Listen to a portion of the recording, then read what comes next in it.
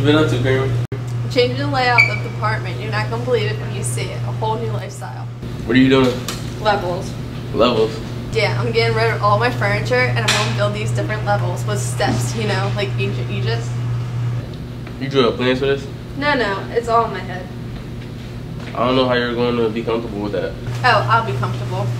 When do you intend on doing this? Oh, I should be done by the end of the month.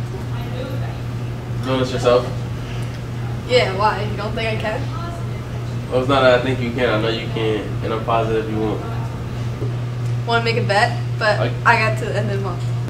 I'll give you a year. No, no, no. End of the month. Yeah, my bet.